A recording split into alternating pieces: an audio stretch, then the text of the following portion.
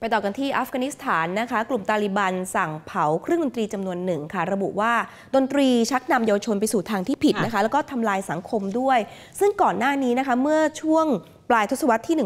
1990 ที่ตาลิบันอยู่ในอำนาจปกครองอัฟกานิสถานนะคะ ก็เคยที่จะก็เคยที่จะแบนดนตรีเมื่อพวกเขาอยู่ในอำนาจครั้งสุดท้ายมาแล้วครั้งหนึ่งค่ะ สำนักข่าวบักตาของรัฐบาลอัฟกานิสถานรายงานว่าตำรวจศาสนาของกลุ่มตาลิบัน ได้เผาเครื่องดนตรีจำนวนหนึ่งในจังหวัดเฮรัตทางตะวันตกของประเทศนะคะ ภาพที่เผยแพร่โดยตาลิบัน แสดงให้เห็นเจ้าหน้าที่ไปรวมตัวกันรอบกองไฟ พร้อมเครื่องดนตรี ซึ่งรวมถึงกีตาร์ออแกนเล็กและลำโพงชิคอาซิส อันรามาน อันมูฮาจี หัวหน้ากระทรวงส่งเสริมคุณธรรม และการป้องกันอบายมุขของจังหวัดระบุว่า ดนตรีชักนำเยาวชนไปสู่การหลงผิดและทำลายสังคม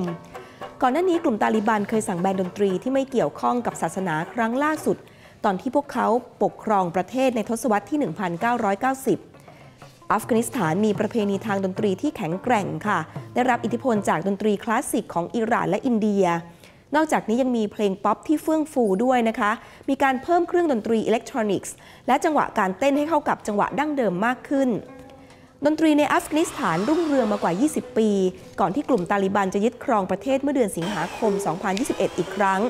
และได้บังคับใช้มาตรการที่รุนแรงนับตั้งแต่เข้ายึดครองอำนาจในประเทศนะคะ หลังจากที่กองทัพสหรัฐและนาโต้ถอนตัวออกจากอัฟกานิสถาน นักเรียนและอาจารย์ของสถาบันดนตรีแห่งชาติอัฟกานิสถาน ซึ่งครั้งหนึ่งเคยมีชื่อเสียงในวงกว้าง ไม่ได้กลับไปเรียนอีกเลย นับตั้งแต่กลุ่มตาลิบันปกครองประเทศ ขณะที่นักดนตรีหลายคนก็หนีออกนอกประเทศด้วยค่ะ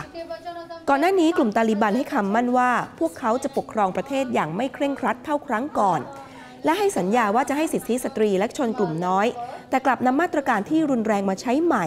ตามการตีความกฎหมายอิสลามหรือชาริอะอย่างเคร่งครัด รวมถึงการประหารชีวิตในที่สาธารณะ ห้ามการศึกษาสำหรับเด็กผู้หญิงที่อายุเกินเกรด 6 และห้ามผู้หญิงจากการจ้างงานเกือบทุกรูปแบบ เมื่อสัปดาห์ที่ผ่านมานะคะ กลุ่มตาลิบันประกาศว่า ร้านเสริมสวยทุกแห่งต้องปิดให้บริการ เนื่องจากให้บริการที่อิสลามห้าม และทำให้ครอบครัวของเจ้าบ่าว ต้องเผชิญความยากลำบากทางเศรษฐกิจในช่วงพิธีแต่งงานด้วย ขอบคุณที่ติดตามรับชมรายการ Teen N World Today นะคะ อย่าลืมกด subscribe กดกระดิ่ง กดไลค์ กดแชร์ในทุกช่องทางของ Teen N ช่อง 16 ค่ะ จะได้ไม่พลาดรายการที่น่าสนใจทั้งสดแล้วก็คลิปวิดีโอย้อนหลังอีกมากมายเลยค่ะ